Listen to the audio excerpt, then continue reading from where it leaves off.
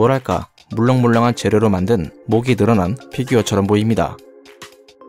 아마도 머리를 잡고 앞으로 쭉 당기면 이러한 모습이 만들어질 수도 있을 것 같네요. 하지만 자세히 보면 이 동물은 목이 늘어난 피규어가 아니라 타니스트로페우스라는 실제로 존재했던 고대의 파충류입니다. 과학자들은 마침내 이 파충류의 목이 이렇게 길었던 이유에 대해서 알게 되었습니다. 이상할 정도로 긴 이 목뼈의 화석은 무려 170년 동안 고생물 학자들의 머리를 아프게 만들었습니다. 그런데 얼마 전 이 동물 화석이 가지고 있던 다양한 미스터리가 드디어 풀리게 되었습니다. 이 화석의 정체는 약 2억 4천만 년 전에 살았던 타니스트로페우스라는 파충류입니다.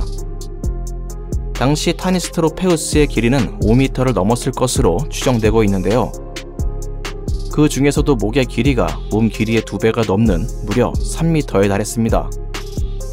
얼핏 보면 목이 엄청나게 긴 아주 괴상한 악어처럼 보이기도 하죠. 발견된 지는 꽤 오래되었지만 이 파충류의 목이 이렇게 길었던 이유는 완전한 미스터리로 남아 있었습니다. 일단 타니스트로페우스 화석에서 가장 특이했던 부분은 바로 목뼈의 모양입니다. 파충류였음에도 불구하고 뱀이나 도마뱀 등이 아닌 기린의 목뼈를 많이 닮아 있었죠. 참고로 이 동물의 화석이 1852년에 처음 발견되었을 때 생물학자들은 익룡의 날개뼈라고 생각했습니다. 또한 발견된 화석들의 크기도 두 가지의 종류로 나누어져 있었는데요. 한쪽은 5에서 6m의 크기, 다른 한쪽은 1에서 1.5m 정도의 크기를 가지고 있었습니다. 그래서 생물학자들은 크기가 더 작은 화석들이 단순히 타니스트로 페우스의 새끼인 건지 아니면 완전히 다른 종을 의미하는 건지 알 수 없었습니다. 과연 이 작은 화석의 정체는 무엇이었을까요? 다행스럽게도 단서는 화석의 깊숙한 부분에서 찾을 수 있었습니다. 나무가 줄기 안에 나이테를 만드는 것처럼 뼈도 이와 비슷한 일을 할 수 있죠. 이것을 찾기 위해 생물학자들은 엑스레이와 CT 등의 다양한 방법을 통해 화석의 3D 모델을 만들었습니다. 이러한 방법으로 작은 크기의 화석들을 분석해 본 결과 새끼가 아닌 성체였다는 것이 밝혀지게 되었습니다. 즉 작은 크기의 화석과 커다란 크기의 화석은 사실 종 자체가 달랐던 겁니다. 결국 생물학자들은 큰 개체에게 타니스트로페우스 하이드로이데스라고 이름을 붙여줬고 작은 개체에게는 타니스트로페우스 롱고바르디쿠스라는 이름을 붙여줬습니다. 이름에서 알 수 있듯이 이들 모두는 타니스트로페우스 속에 속해 있지만 종은 다르다고 할 수 있습니다.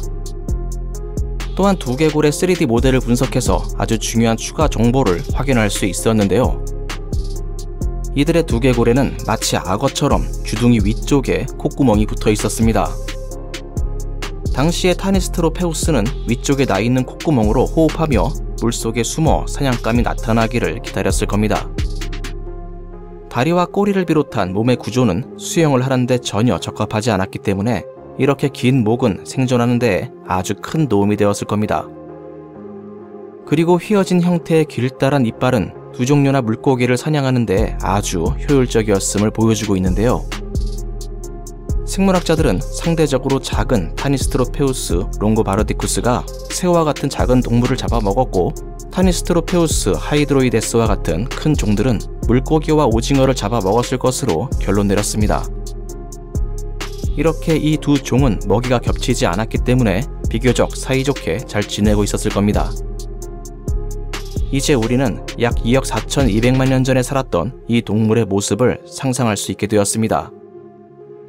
무려 발견된 지 170년 만의 일입니다. 얕은 바다에 엎드려 머리를 물 위로 높이 올린 채 콧구멍으로 공기를 빨아들이고 있던 그 모습을 말이죠. 그리고 길을 잃은 오징어나 작은 새우가 지나가기를 기다리며 조용히 아래를 내려다보고 있었을 겁니다.